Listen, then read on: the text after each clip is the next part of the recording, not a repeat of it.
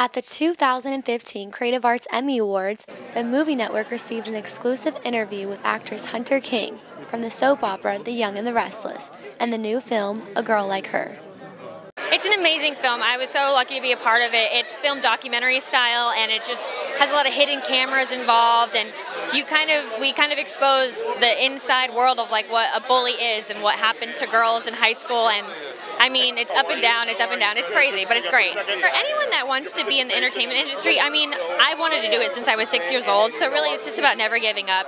It's such a hard industry and there's a lot of rejection, but if it's something that you're so passionate about, don't let anybody tell you that you can't do it or that you shouldn't do it. Just stick with it and it'll happen. My younger sister, Joey King, she's also an actress, and my older sister, Kelli King, used to do acting as well.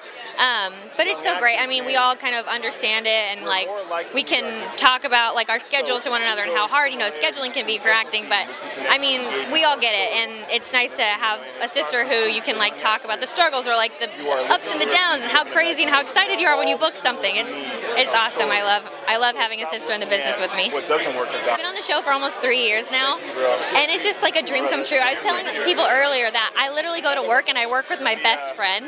It doesn't even feel like work. Like I, I get to do what I love and I get to work with like the greatest people. I I don't even know why I'm getting paid for it. It's not really work. It's just like hanging out with friends all day and getting to say some really fun lines. So I feel so lucky.